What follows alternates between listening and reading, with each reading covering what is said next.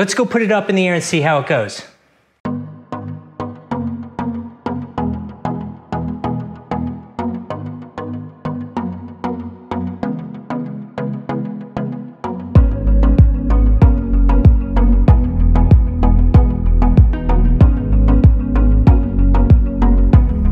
I hope you enjoyed that quick overview. Let's look at one of the key features. Follow me.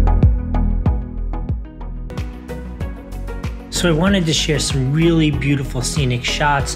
And then this one in particular, I left this in here because if you look at the fronds on these trees, the wind was blowing crazy and the drone was still super stable. I was really impressed. I also wanted to include a couple quick photos so you could see them.